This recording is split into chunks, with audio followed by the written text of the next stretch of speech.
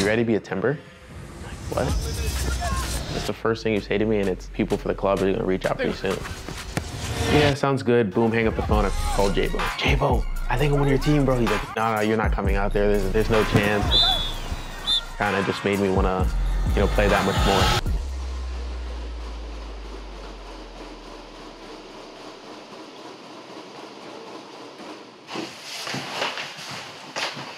Let's see, let's see. Let's see the play on the.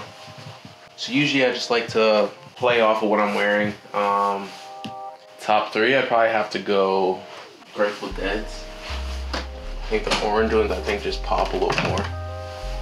So yeah, I, I think it just starts with like what what, what the vibe is. Um, for the most part, I'm, I'm cozy, but I also kind of like to get a fit off here or there. So it's uh, it's good to kind of switch it up.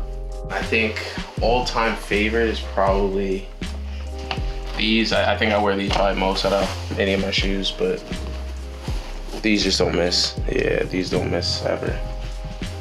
Just getting the habit of wearing shoes and, and not, you know, keeping them around. And good thing is, I don't think I have to buy another pair of shoes, you know, if, if I wanted to stop now. But once you get started, it's, it's hard to stop. Yeah. So I think we can just keep it simple with play on the brown and little red in the hoodie. So probably go with Travis, Travis Lows. Not big on tying the shoes, so straight in, but yeah, I think that's me.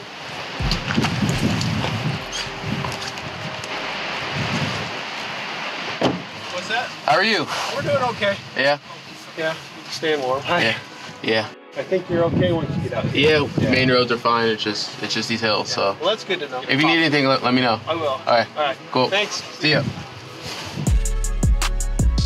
Vibes gotta get high. You know, it's you go in in a good mood, and you usually gonna leave in a good mood. So it's a great way to start the day.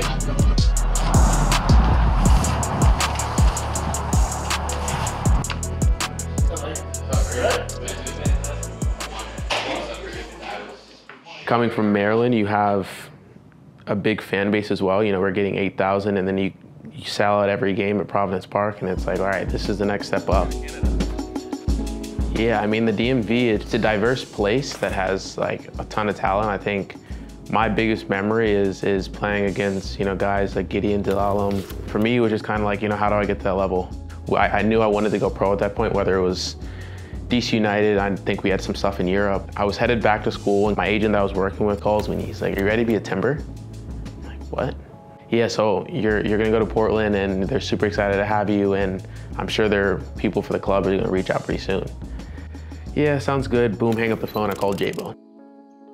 The first place we went was Bamboo Sushi. Um, and we're standing in line and one of one of the fans came up to, to me and J-Bo and it's like, Eryk, we're super happy to have you here and can't wait for you to get started. And that was the first time I really realized like how invested our fans are into the game. You know, I'm some random kid from the DMV and, you know, haven't played a minute, let, let alone put on Timbers gear and they already kind of knew who I was, which was exciting and it kind of just made me want to, you know, play that much more.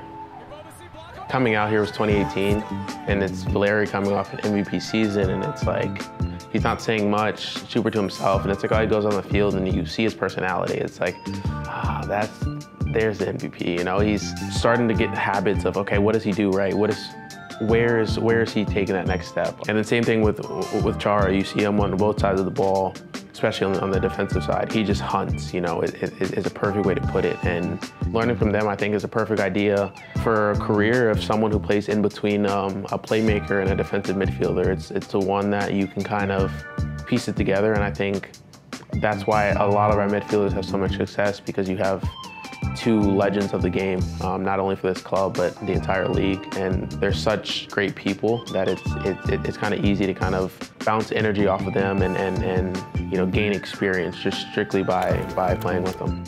That's what this season is, is a comeback season that is, that's making a statement and, and you know, coming in with a bang. Excited for, for, for more years here and, and it's a place that I want to continue to play for, you know? It's a, a team, a club, a city that is, is easy to represent because they, they stand behind us.